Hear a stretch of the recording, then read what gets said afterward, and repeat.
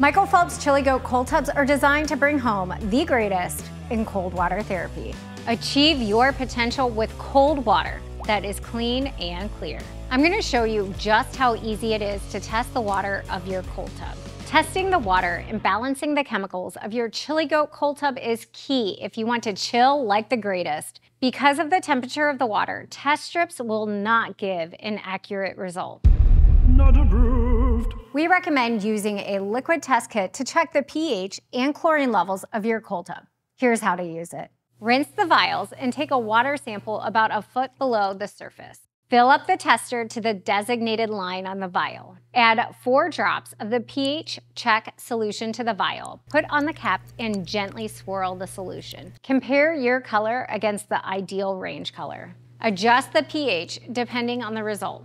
Remember to add chemicals a half teaspoon at a time. After 15 minutes, repeat the testing process and check the chlorine. Add four drops of the chlorine check solution to the vial. Cap, swirl, and compare. If your chlorine level is low, add sanitize to balance. Let's say it again, a half teaspoon at a time. Be sure to wait 15 minutes before retesting. Great job. You've successfully balanced the chemicals in your Michael Phelps Chilly GOAT cold tub. And that's all there is to it.